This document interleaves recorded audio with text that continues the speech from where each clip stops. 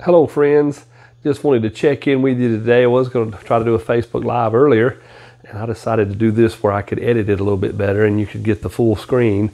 But yeah, I had an interesting weekend. I celebrated uh, Juneteenth with some uh, friends at the, um, and actually fellow teammates at Bentley's at the CMSA uh, crawfish fundraiser and had a great time there. Had a lot of people come out, was able to set up the insurance booth and, and meet a lot of people, make some uh, connections with folks. And that, that part was really a lot of fun. And then, uh, you know, we had uh, Sunday, we had a great day uh, in church. Uh, people were not wanting to leave. I mean, we, we were just, I mean, it was, it was a wonderful spirit. People were just loving one another and they weren't in a hurry to run off and go eat somewhere. They were happy to serve the Lord, happy to, uh, to hang out with one another.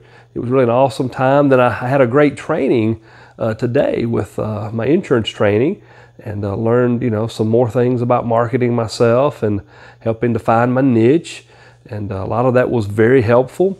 And uh, that's one of the things I'm committed about doing. I have some specific goals for my uh, insurance business, and one of those is to uh, be the uh, church insurance man for the state of Texas.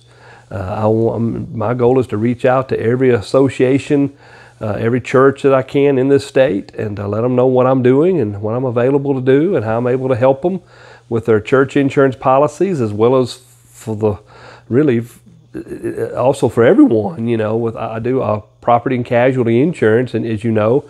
But I'm also um, in the process of bettering myself. I'm getting ready to pursue my health and uh, life insurance license. So, uh, life is all about getting better. Life is all about improving yourself. So, want you to you can trust me to do that. I'm not just sitting back, you know, taking it easy in life. Uh, I've even taken on a, a third job right now uh, to sort of stabilize my income while we're building the uh, insurance business. And one of the things that's doing is it's allowing me to take more risk and take more chances in the insurance business and uh, and not just play it safe because many business leaders and even church leaders uh, want to play it safe sometimes and not take risk and it's okay to take a risk. I was uh, one. Bill Gaither is one of my uh, musical heroes in gospel music, and one of the things I love about Bill is that Bill sees the potential in others and gets it out of them. I know in church ministry, I've had times that I saw people growing. Uh, they were caring about others. They were burdened about other people. Their heart was was heavy uh, for others, and, and they really wanted to see some good things happen.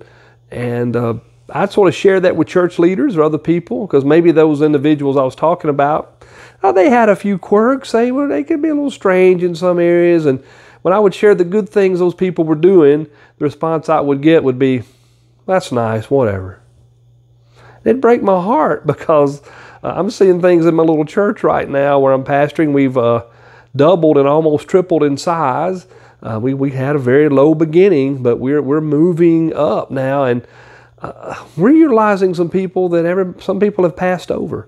But we're seeing people who are caring, who are committed, who are passionate. And in your business, I would tell you that, you know, there's some things you can train out of or train into some people, but you can't train passion into people. You can't train compassion and love and, and care into people. And if you've got somebody that has those qualities, you can train the other stuff in them. But if they don't have that, they can have a slick presentation, they can be smooth in every way, but they're probably going to let you down. And so I just uh, just want to challenge here all of my pastor friends, all of my business friends, to uh, to better yourself, to improve your skills, uh, as I'm doing with uh, insurance training and with uh, even in music. I'm constantly learning new things. I, am getting ready to. I'm actually collaborating with a friend in San Antonio. We're getting ready to work on a Christian hip hop song. He's going to take one of my songs and going to write some hip hop lyrics, about 16 bars into it, and we're going to put a hip hop song down. And you say, Well, you old man, why do you want to do that? Because I can. Okay? I'm not dead yet. And as long as I'm alive, I'm going to live. And I said, I challenge you to live.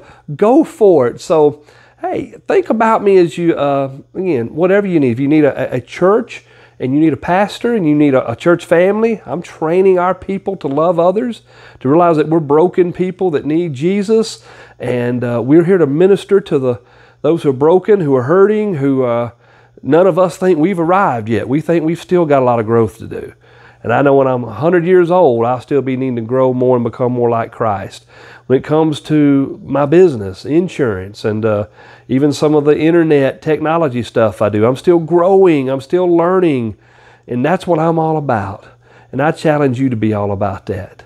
So I really could keep on talking forever, and it's time for me to shut it down. But y'all have a good night. Take care. God bless you. I'll see you tomorrow. Bye bye.